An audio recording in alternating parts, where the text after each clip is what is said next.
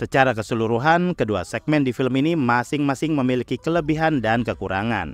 Ada yang saya salutkan, ada pula yang saya kecewakan. Style penyutradaraan yang jelas-jelas berbeda membuat film ini tidak perlu untuk diperbandingkan.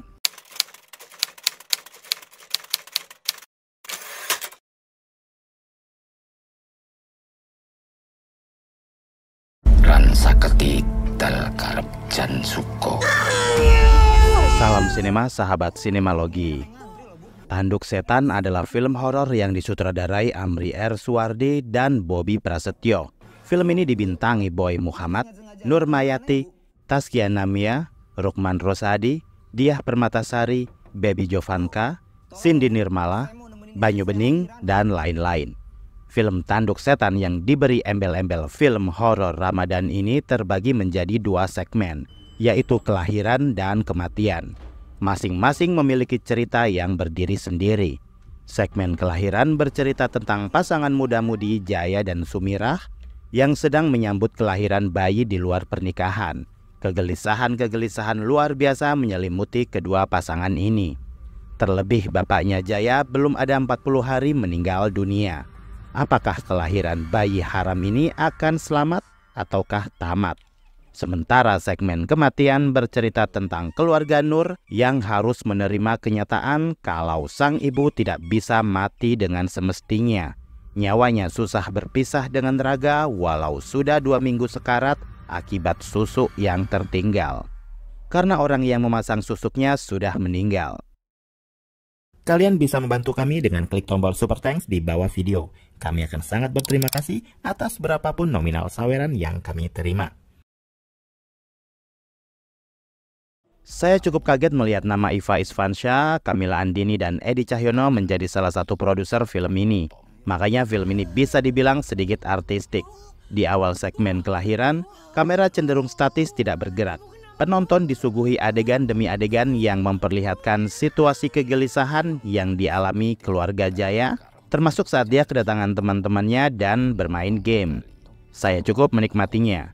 Film terasa mengalir. Mungkin beberapa orang akan menganggap adegan tersebut nggak penting, tapi dari dialog-dialognya ada informasi yang terselip dan menjadi petunjuk tentang perkara macam apa yang bakal dialami oleh Jaya dan Sumira.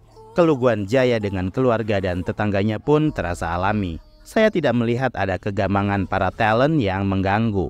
Malah semuanya terasa begitu apa adanya. Salah besar kalau Boy Muhammad kurang begitu masuk dengan karakter Jaya.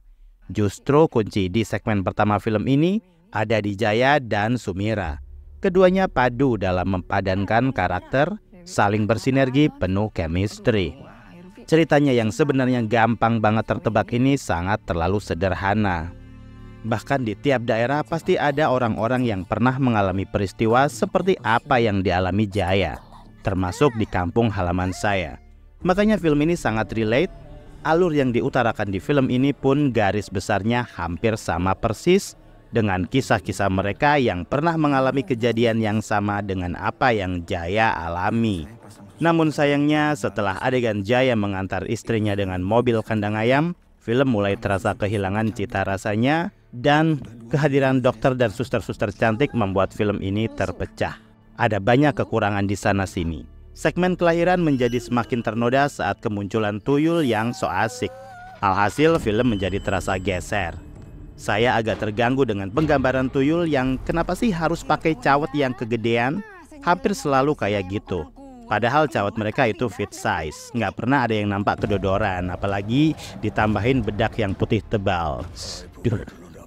Ada banyak elemen yang membuat film menjadi terasa kurang, beberapa efek visual yang terasa minim apa adanya. Bahkan efek-efek penampakan hantu yang kayak kembali menggunakan teknik pengambilan gambar berpuluh tahun yang lalu. Bahkan menurut saya ada beberapa adegan yang cukup mengganggu.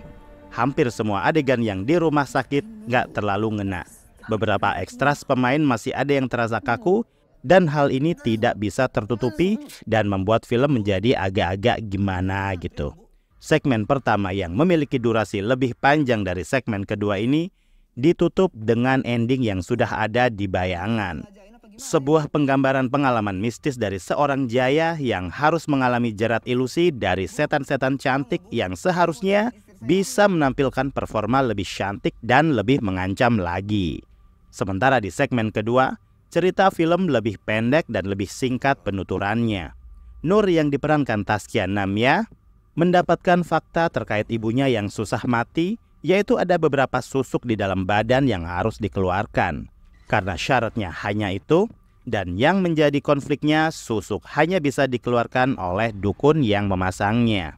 Tapi apes, sang dukun sudah lama mati. Segmen kematian terbilang cukup simpel, bahkan beberapa waktu lalu kita sudah disuguhi film horor Indonesia berjudul Susuk.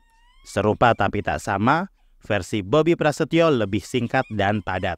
Bahkan sangat disayangkan ketika durasi film ini hanya sebentar saja kita sebagai penonton tidak sempat untuk menikmati aksi Rukman Rosadi lebih liar lagi. Terlebih peran Taskia Namya yang sangat terbatas. Begitu pula porsi pemain lainnya. Banyu Bening yang memerankan Haryo, adiknya Nur, juga memiliki peran yang penting di film ini. Namun bagaimanapun juga, segmen kematian tidak terlalu istimewa, tidak melempem, tapi nggak renyah juga. Masalahnya di kepala saya masih ada gambaran Hana Malasan dengan film susuknya yang masih lumayan membekas. Ketika Tanduk Setan rilis, segmen kematian menjadi bukan sesuatu yang spesial. Tak ada yang gagal untuk urusan akting di segmen ini. Secara keseluruhan, kedua segmen di film ini masing-masing memiliki kelebihan dan kekurangan. Ada yang saya salutkan, ada pula yang saya kecewakan. Style penyutradaraan yang jelas-jelas berbeda membuat film ini tidak perlu untuk diperbandingkan. Walau sampai sekarang saya masih kurang mudeng soal keterkaitan tanduk setan dengan kedua segmen di film ini. Saya mencoba beranggapan bahwa kedua film memiliki hubungan dengan waktu di mana matahari hampir tenggelam setara senja. Demikian video reaksi dari film Tanduk Setan yang tayang di bioskop. Silahkan like, komen, dan subscribe kanal ini Cek juga akun-akun media sosial Sinemalogi. Dan jangan lupa bersinema dahulu, berbahagia kemudian.